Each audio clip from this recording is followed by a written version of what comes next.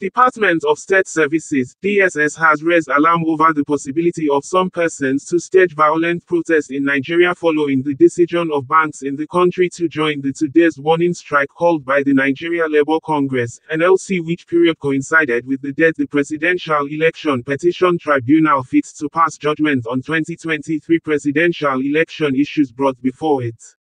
DSS said its intelligence intercepted communications that some politicians are mobilizing unsuspecting student leaders and other members of the public for planned action. President Bola Ahmed Tinubu on Monday held an emergency meeting with security chiefs with most of his cabinet members in attendance.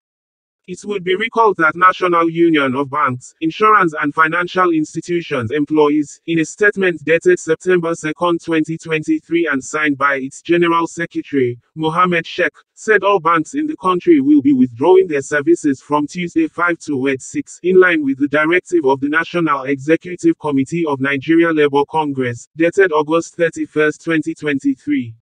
Also, Barrister Umar Bangari, the Chief Registrar of the Federal Court of Appeal in a statement on Monday announced that the Presidential Election Petition Tribunal has fixed Wait 6, 2023 as Judgment Day in a case between aggrieved parties and the Independent National Electoral Commission, INEC, following the February 2023 presidential election which ushered in Bola Ahmed Tinubu as president.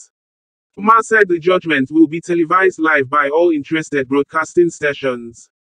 Peter Afunanya, Public Relations Officer, Department of State Services, National Headquarters, Abuja in a statement late Monday evening, said, the DSS identified the ringleaders among those planning to destabilize the country. The DSS statement reads in quotes, The Department of State Services, DSS, hereby informs the public that it has uncovered plans by some elements in parts of the country to stage violent protests in order to discredit the federal government and security agencies over sundry socio-economic matters. Intelligence reports have indicated that the plotters include certain politicians who are desperately mobilizing unsuspecting student leaders, ethnic-based associations, youth and disgruntled groups for the planned action. Meanwhile, the service has identified the ringleaders of the plots as well as sustained monitoring around them in order to deter them from plunging the country into anarchy. In view of this development, university vice-chancellors and heads of tertiary institutions are advised to discourage their students from engaging in acts capable of derailing public peace.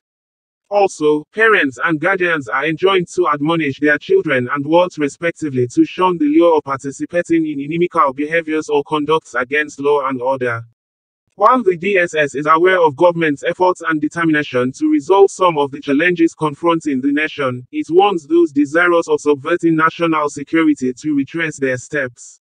This is more so that it will not hesitate to legally come against persons and groups behind the devious plans.